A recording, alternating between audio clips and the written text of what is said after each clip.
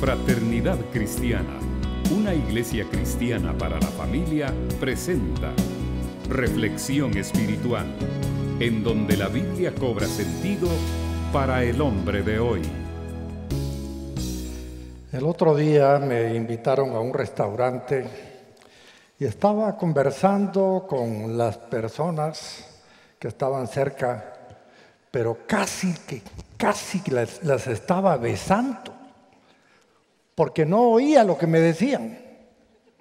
La música era muy fuerte, todos hablando, ruido por todos lados, el lugar nada acústico y entonces costaba escuchar la conversación. En comunicaciones, cuando se habla de ruidos, se habla de distractores. Por eso que les pedimos que amablemente pongan su celular en vibrador o lo apaguen, porque es un problema hoy en día cuando uno quiere hablar con alguien y está con el celular contestando o, viendo. ¿Se siente cómodo usted cuando está hablando con alguien y, está ahí con el celular a cada rato viendo? Ahora lo tienen también en los relojes, ¿verdad? Hay relojes que eh, ahí mismo le pasan algunos mensajes y, y, y qué incómodo es. Esos son ruidos, son ruidos. Ahora imagínense ustedes que Dios quiere hablarnos. ¿Cuántos quieren oír la voz de Dios? Pero ¿por qué no oímos la voz de Dios? Porque hay muchos ruidos, hay muchos distractores, hay muchas cosas en nuestra mente, hay muchas cosas en nuestro corazón que no permiten que Dios nos hable. Ahora, Dios nos habla de muchas maneras. Una de ellas es usando a un predicador para trasladar lo que dice la palabra del Señor. Pero a veces hay un prejuicio y decimos, ay, ¿qué, me va a enseñar a mí ese predicador? Pero él no es el que le va a enseñar, él es nada más el mensajero que le va a dar el mensaje de Dios. Por eso es tan importante lo que Santiago nos enseña cuando dice en el capítulo 1, versículo 19, mis queridos hermanos, tengan presente esto. Todos deben estar listos para escuchar. Todos deben estar listos para qué? Escuchar. Y ser lentos para hablar y para enojarse. ¿A quiénes les está escribiendo Santiago esta carta? ¿Se recuerdan? Le está escribiendo a los cristianos judíos que han sido perseguidos y están dispersos por toda esa parte del mundo. Y estando lejos de la patria, estando lejos de la familia, estando lejos del barrio, uno se siente, como diríamos en Guatemala, puro pollo comprado. Usted se siente aislado, se siente deprimido quizás, se siente triste tal vez. Sin embargo, recibir en ese entonces una carta es lo más alegre que puede haber. Noticias de la gente que nos ama. Y Santiago sabe que ellos son familia, hermanos en Dios. Y por eso les dice, queridos hermanos.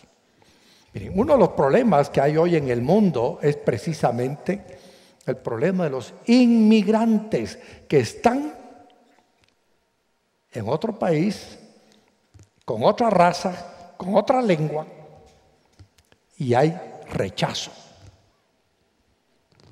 ¿Cuántos han sentido la discriminación racial cuando están en algún otro país? Pero también la sentimos cuando estamos en el propio. Hay discriminación racial, hay discriminación social, hay discriminación religiosa, hay discriminaciones. Por eso cuando uno encuentra a alguien que le dice, querido, pues ¿quién no quiere ser querido? ¿Usted quiere ser querido? Dígale al hermano ahí, hermano, yo lo quiero. ¿Verdad que cuesta? Si está la suegra a la parra y le toca a usted decirle, suegra, yo la quiero y ella le dice, yo también. tenemos que amarnos, tenemos que amarnos. El amor es un factor importante.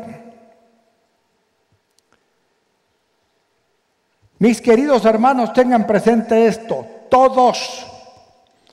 ¿Qué quiere decir todos? Todos. Es que yo tengo 20 años de ir a la iglesia. Usted entra en eso. Todos. Ah, pero es que yo ya tomé varios cursos bíblicos y por lo tanto yo no necesito. ¿Qué dice Santiago? Todos. Pero yo ya me gradué del segundo nivel de la Facultad de la Fe y Liderazgo. ¿Quiénes tienen que escuchar? Todos. A veces les sorprende a nuestros predicadores, visitantes, que muchas veces estamos ahí sentados oyéndolos, tomando nota, y lo van a contar por todo el mundo. El pastor de la frater estuvo allí, estaba tomando nota. ¿Por qué? Porque todos necesitamos qué? Ser prontos para qué? Prontos para escuchar. La gente ya no oye porque tiene prejuicios, porque hay muchos ruidos. Pero Santiago dice, mis queridos hermanos, tengan presente esto, todos deben estar listos para escuchar. Dios no nos puso dos bocas y un oído. Al contrario, nos dio dos oídos y una boca para que estemos doblemente listos para escuchar antes que para hablar. ¿Qué pasa cuando no escuchamos? Juzgamos sin conocer, llegamos a conclusiones generalmente equivocadas y no comprendemos el corazón y los motivos del otro. Y el otro muchas veces es Dios queriendo hablarnos pero nosotros no lo oímos porque hay demasiada distracción, mucho ruido en nuestra cabeza, mucho prejuicio. Hemos oído cosas que nos estorban para oír. Proverbios 17, 28 dice, hasta un necio pasa por sabio si guarda silencio. Hasta un necio pasa por sabio si guarda silencio. Se le considera prudente si cierra la boca. A veces la gente tiene boca de calcetín, solo la abre para meter la pata. Y uno necesita a alguien que le diga en un momento, cállate, cállate. La mayoría se arrepiente de cosas que dijo. Pocas veces se arrepiente de lo que no dijo. Es tan importante tomar en cuenta lo que dice la escritura. Hasta un necio pasa por sabio si guarda silencio. Se le considera prudente si cierra la boca. Así que debemos ser lentos para hablar, no soltar el chorro de babas así nomás. Proverbios 10, 19. El que mucho habla, mucho hierra. El que es sabio, refrena su lengua. El que mucho habla, mucho hierra. El que es sabio, refrena su lengua. El que es sabio, refrena su lengua. El que es sabio. Hay muchos hogares destruidos, muchas amistades perdidas, muchas sociedades acabadas porque alguien no refrenó su lengua y soltó Una palabra que hirió, que ofendió, que destruyó. Y por eso dice que el que es sabio refrena su lengua. El Salmo dice, no seas como el caballo ni como el mulo que necesita ser frenado. Pero a veces usted necesita ser como el caballo y como el mulo. ¿Necesita qué? Freno. Alguien que le diga, no hombre, cállate, ya estás hablando lo que no debes hablar. El consejo de Santiago es importante. Recuerden que todos los cristianos están en otro país, en otro territorio, en otra cultura, rodeado de otras creencias, de otras religiones. Y tenían que ser prudentes al hablar porque venían huyendo, porque los querían matar por causa de su fe y tenían que compartir su fe, pero tenían que hacerlo como? Con sabiduría, con prudencia. Usted no puede entrar a la casa de su prima por tal de con tal de que usted esté en su primer amor y sabe que la idolatría no es del Señor. Usted no puede entrar a la casa de su prima y botarle todos sus ídolos y quebrárselos y quemárselos. ni decirle te vas a ir al infierno por idólatra. Usted tiene que ser qué? Prudente. Lento para hablar. Tiene que pensar bien lo que va a decir. Tampoco puede llegar a la casa de su primo, el bolo, y decirle, los borrachos van a parar en el lago que arde con fuego y azufre. Si suficiente infierno tiene él en su casa ya. Los bolos en su casa tienen un infierno. No los quiere ni la mamá, no los quiere ni la suegra, no los quiere el hijo, no los quiere la mujer, no los quiere el vecino, nadie los quiere. A los bolos no los quieren. Y cuando tocan el timbre en la casa del pariente, shh. Que piense que no hay nadie. Entonces, tenemos nosotros que ser muy prudentes. Y dice también la escritura, ser lentos para enojar. Todos deben estar listos para escuchar, ser lentos para hablar y lentos para enojarse. No sea una persona de mecha corta. Aquí en Guatemala todos hemos quemado cohetíos alguna vez. ¿Cuántos han quemado cohetíos alguna vez? Aquí todos nos tenemos tanto pisto que lo quemamos. Aquí no hay cumpleaños sin cohetes, aquí no hay nada sin cohetes, aquí todos quemamos cohetes.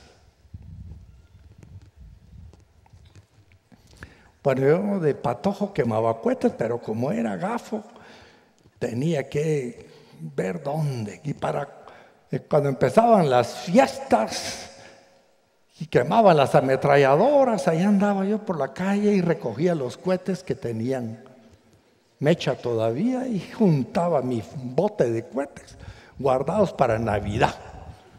Y ahí andábamos quemando uno por uno por uno. Pero tenía un amigo que su mamá era dueña de una de las tiendas del barrio. Y ese amigo llegaba a visitarme con las bolsas llenas de cohetes, paquetes de cohetes, morteros. Y un día nos pusimos a quemar los cohetes que él llevaba y sacó un mortero. Un mortero ya es un casi bomba. Y nos pusimos allí a hacerle la cuevita para que el aire no apagara el fuego. Encendimos el mortero. Y el mortero lo tiramos, primero lo tiró el dueño del mortero y no explotó. Entonces fuimos a ver, lo agarramos y a la mecha había caminado como hasta la mitad. Entonces me tocó a mí, y agarro y, enciende la mecha y lo tiré luego. No explotó. Pero entonces quedó una mecha más corta. Entonces le tocó a mi primo, el tico. Y el tico agarra el mortero. Y encendimos el mortero. Y estalló el mortero. Y yo solo oía los oídos me retumbaba el zumbidito de la explosión. Mi primo tenía un pedazo de papel de China pegado en el ojo y no podía ver y él gritaba, me quedé ciego, me quedé ciego. Al hospital fue a parar el pobre primo, me quedé ciego. Mecha corta. Usted no quema un mortero con mecha corta. ¿Has visto las grandes bombas que queman ahí enfrente de las iglesias católicas cuando hay fiestas? La mecha es larga. ¿Para qué? Para que dé chance a que uno mire que va a explotar y uno se aleja. Pero hay personas que son de mecha corta. Usted le dice, ¿por qué venís hasta ahora? Y va, ¿qué crees? Que yo no sé qué, que, el tráfico, que me pincharon la llanta, que me somataron en la calle, en fin. Explotan. Hay gente que son rápidos para enojarse, rápidos para hablar y no escuchan. Debe ser al revés, usted debe ser lento para hablar, lento para enojarse y pronto para escuchar. Eso funciona siempre. No seamos de mecha corta. Proverbios 19:11. El buen juicio hacia el hombre paciente. Su gloria es pasar por alto la ofensa. El buen juicio hacia el hombre qué? Paciente. ¿Qué es lo que necesitamos nosotros? Paciente. Hoy vimos a los papás presentar a sus bebés. ¿Qué van a necesitar los papás con sus hijitos? ¿Qué van a necesitar? Paciencia. ¿Cómo cuesta que los niños lleguen a darse a entender, verdad? Cuesta. Un pediatra que asistió a la iglesia por muchos años me contó que un día fue al cine con sus hijitos. Y en eso empezó a ver que su hijito ya no podía respirar. Él era pediatra. Y su hijito no podía respirar. Y se estaba ahogando. Y se desesperó. El pobre agarró al muchachito, se fue al intensivo del hospital y a ver qué le pasa. Y cuando resultan saliendo sus compañeros, y le dicen, hijo no tiene nada. Tenía muy apretado el cincho.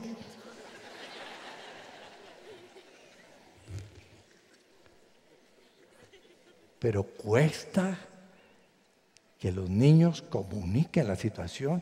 Por eso nosotros tenemos que ser prontos para escuchar y, ver cómo a veces la solución está ahí a la mano. Ah, cuando este pediatra me contaba, yo me mataba de la risa. Hay gente que es de mecha corta. El buen juicio hacia el hombre paciente, su gloria es pasar por alto la ofensa. Jonathan Edwards fue un predicador famoso y él fue el tercer presidente de la Universidad de Princeton, Estados Unidos. Y un día llegó un muchacho a decirle, mire, don Johnny, yo me quiero casar con su hija. Y él le dijo, no te puedes casar con ella. Pero ¿por qué, don Johnny, si yo la amo? Si ella No te puedes casar con ella. Pero ¿por qué? No te puedes casar con ella. Al final, bueno, ¿quieres que te explique por qué? Sí. Ella no es digna de ti. ¿Cómo va a ser que su hija no sea digna de mí? No. Ella tiene un temperamento incontrolable te casas con ella, te va a llevar la tristeza. Y hay papás que podrían ser más honestos con los pretendientes, ¿verdad? Y decirles, mira, te vas a casar con mi hija yo le debería haber puesto Jezabel. Está loca.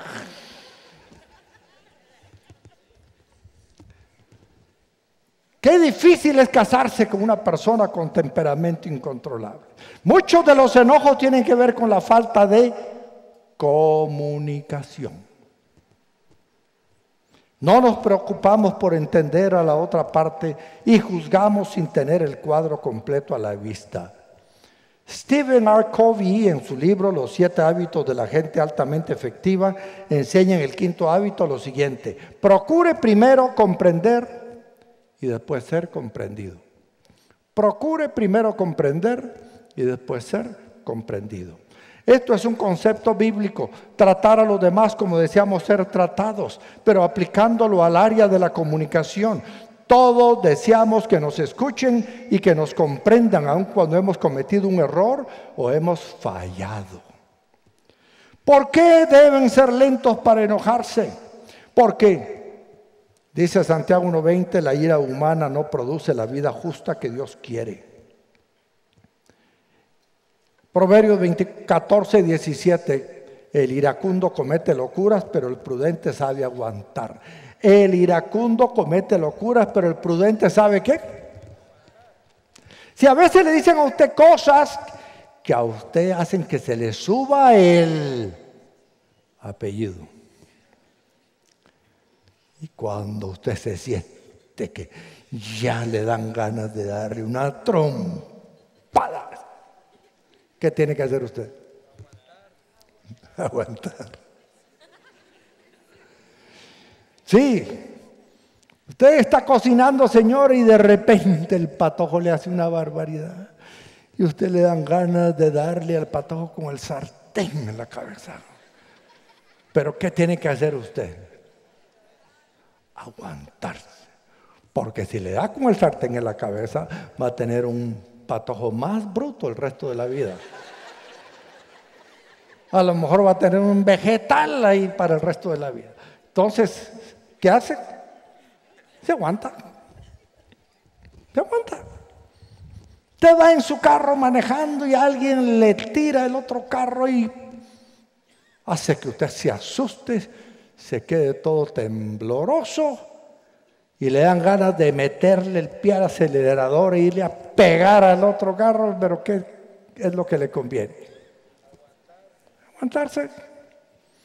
Yo le he dicho a veces a ustedes, miren si alguien en la carretera se acuerda de su mamadita, ese huérfano.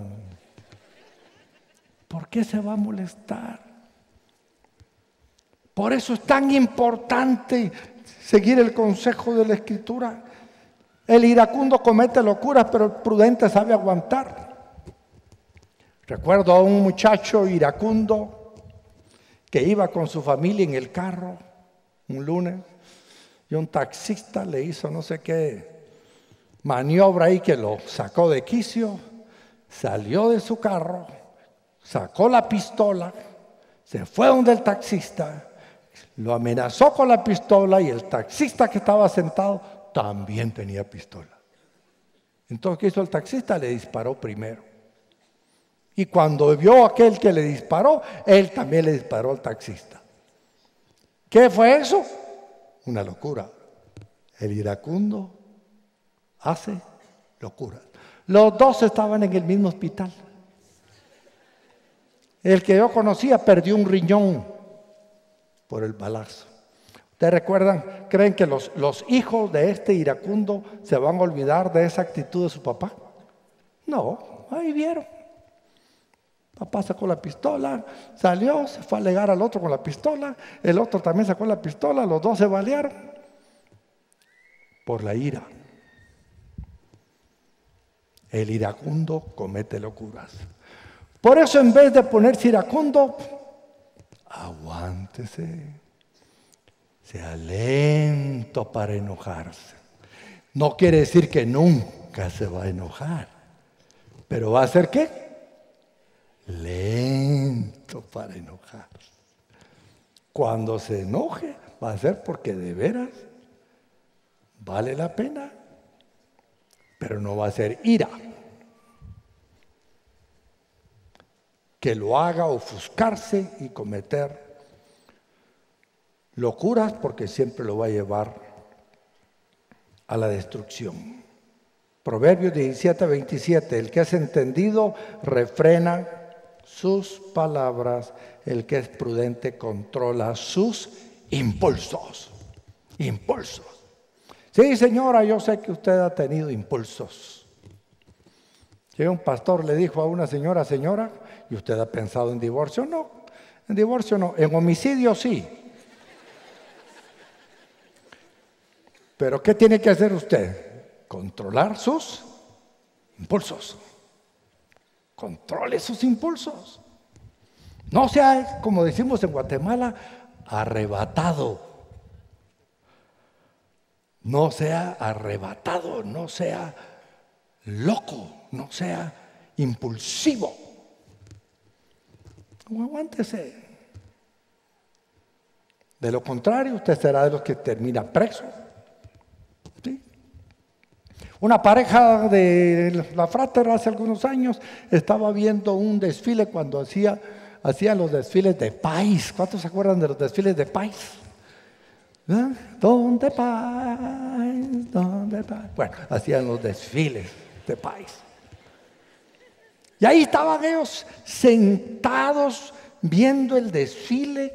Ahí estaba sentadita la pareja de hermanos de la fratera. Y en eso pasó un cuate que pasó golpeando a la señora ahí en ese movimiento.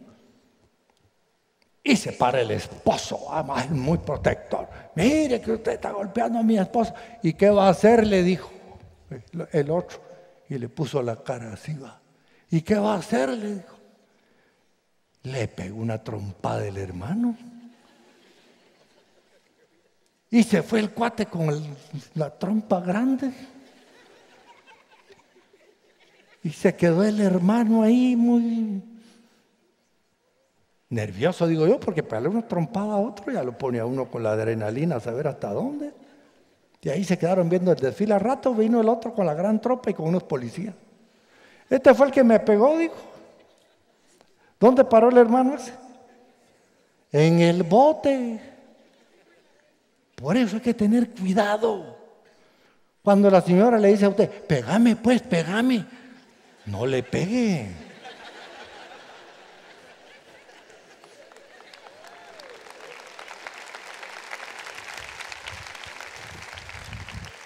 Al rato va a regresar ya con la gran trompa y dos trompus a la par. A llevárselo al bote. Entonces hay que tener mucho cuidado. No se deje llevar por los impulsos. Sí, por eso es que Mire, la Biblia está llena de sabiduría. Por eso Santiago 1.21 dice, por esto dice, por esto de que son de mecha corta y se enojan luego y no escuchan como debe ser, por esto dice, despójense de toda inmundicia y de la maldad que tanto abunda para que puedan recibir con humildad la palabra sembrada en ustedes, la cual tiene poder para salvarle la vida. Ruidos, inmundicia, maldad que abunda. Esos son ruidos que impiden que la palabra de Dios nos comunique la verdad que necesitamos saber.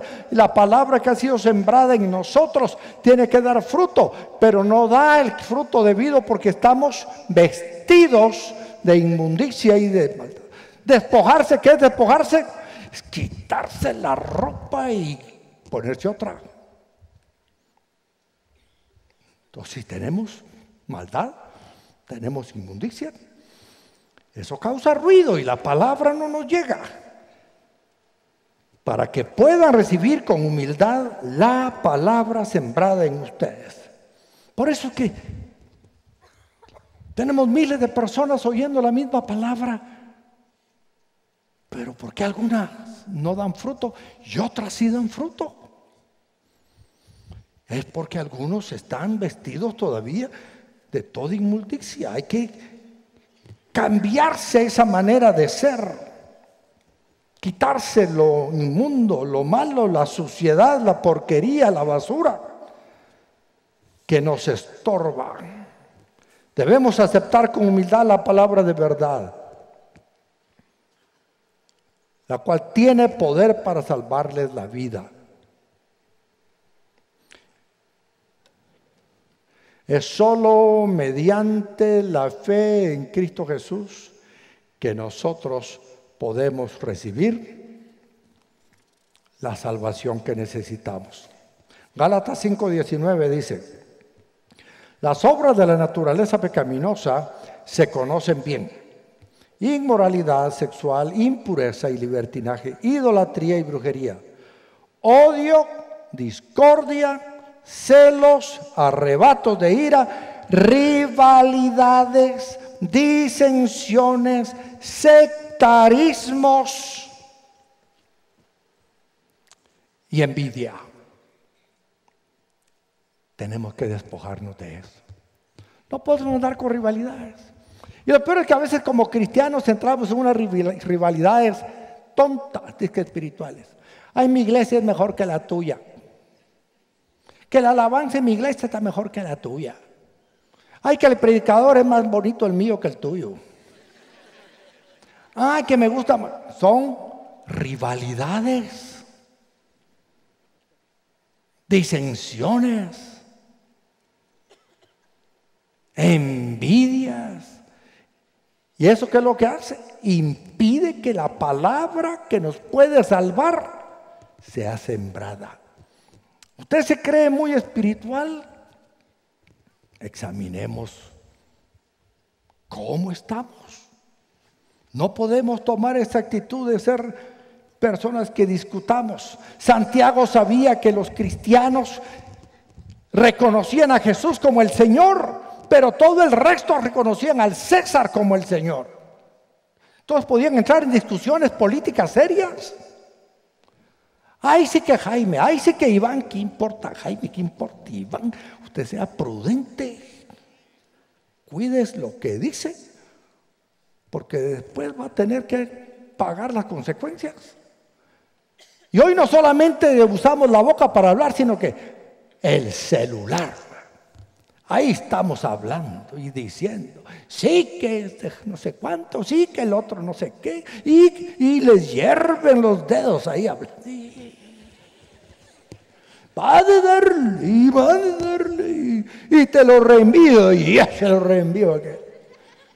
Y ahí estamos todos metiéndonos en un berenjenal porque dejamos de ser prudentes. ¿Qué tenemos que ser? Prudentes. Yo a veces recibo de alguna persona unos mensajes que nada más le contesto le digo, mire usted, ¿está seguro quién es la fuente de esto? Y después me dice, ay, mire usted, el cuate que me lo envió no sabe. Entonces, ¿para qué me lo está mandando? ¿Y qué tal si yo caigo de mudo y también lo mando? Eh? ¿Está uno regando qué?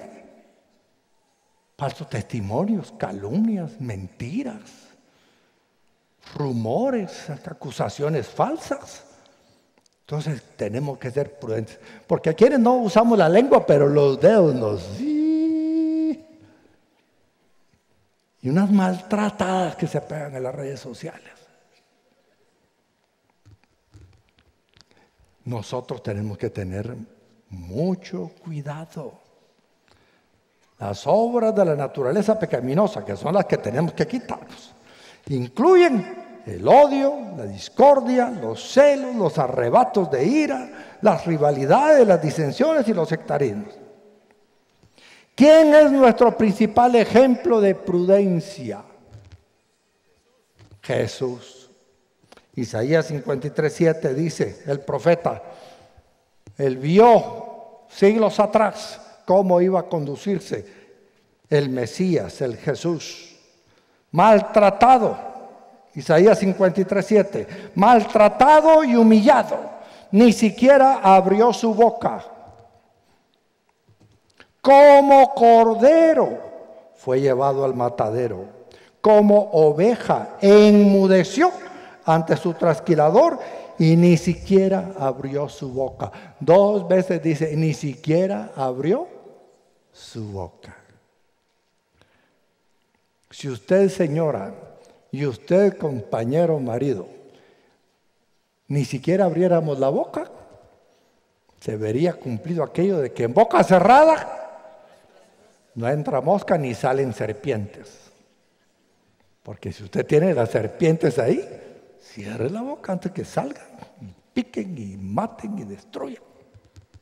Tenemos que pedir al Señor seguir el ejemplo de Jesús. En Juan 1, 29 dice de Jesús, Juan el Bautista, aquí tienen al Cordero de Dios que quita el pecado del mundo. Sí, Isaías hablaba de Jesús, el Cordero de Dios.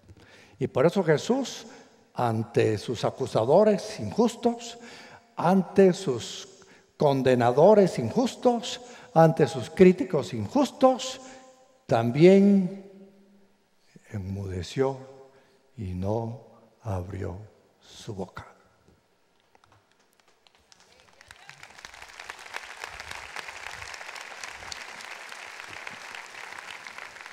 Ay, pastor, pero es que el que calla otorga.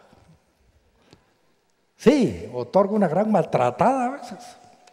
Otorga una familia destruida. Hace algunos años leí unas frases que me hicieron pensar. Usted puede ganar la discusión, pero perder a su amigo.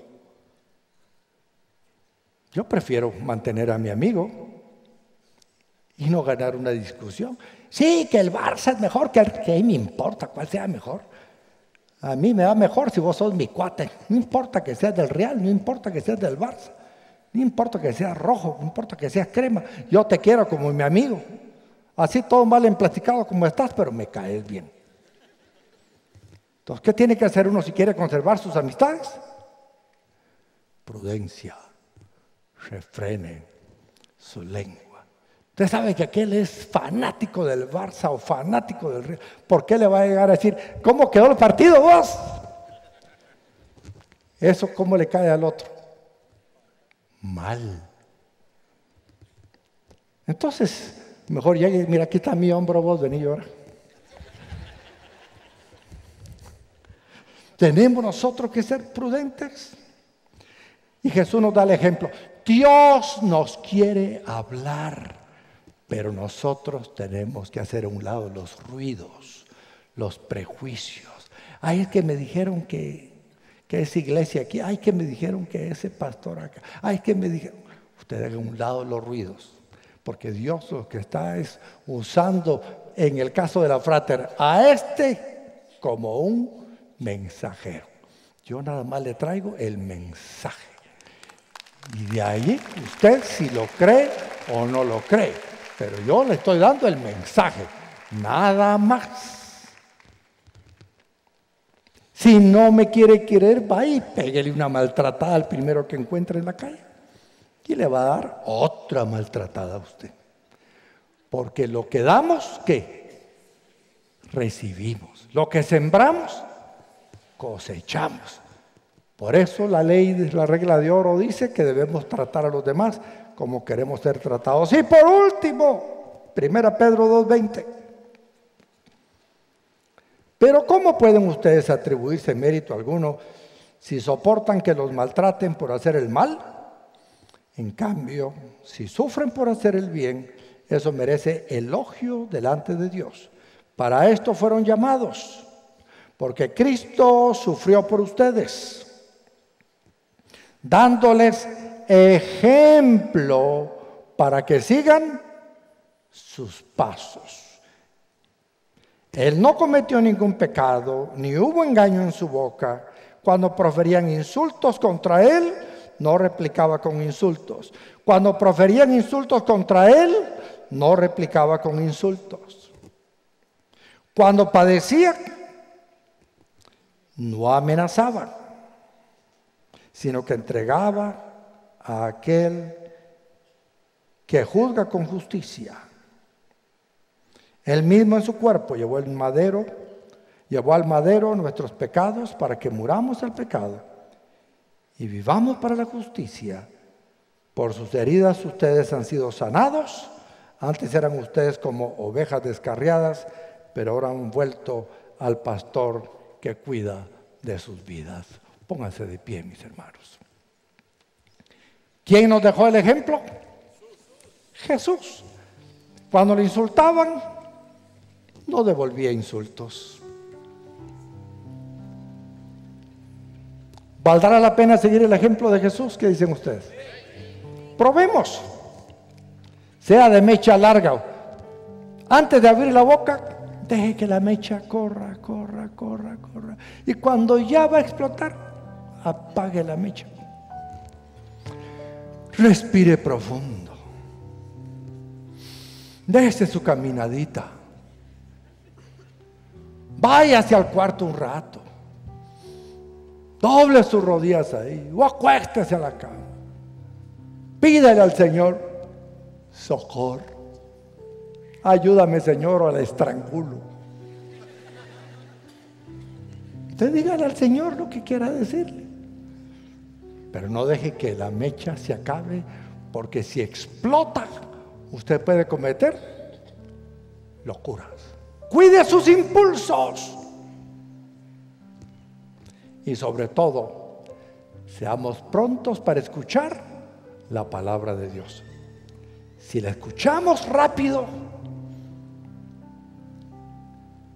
nos va a ir bien. Porque la Biblia dice en el Salmo 119, 105, lámpara es a mis pies tu palabra y lumbrera a mi camino. Siempre vamos a ver por dónde caminar sin tropezar, porque Él nos ayudará. Padre, tú has oído nuestra oración, hemos cantado esta oración. Señor, muchos de los que aquí estamos lo hemos hecho de todo corazón. Límpianos, purifícanos. Ayúdanos, Señor, para ser prontos para escuchar, lentos para hablar y lentos para enojarnos. Y que podamos, Dios, atentamente escuchar tu palabra cada día cuando la leamos, que ella nos hable, cada domingo cuando la proclamemos, que ella nos hable y que tu voz, Señor, la oigamos con atención y la pongamos en práctica en nuestra vida. Bendice, Señor, a cada uno de tus hijos aquí hoy. Bendícelo, Señor, en una manera extraordinaria y que podamos seguir el ejemplo de Jesús, que sigamos sus pasos y que podamos, Dios, aprender a callar y aprender a escuchar tu voz y que también aprendamos a callar y a escuchar a los demás con atención para luego de conocer sus puntos de vista, luego de conocer su realidad completa, podamos hablar con propiedad. Gracias Dios por estar con nosotros.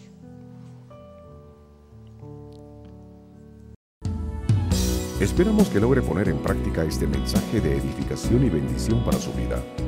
Comuníquese con nosotros al PBX 502 2243 2243 o escríbanos a nuestro correo electrónico info@frater.org o visítenos en nuestra página de internet www.frater.org Ciudad de Guatemala.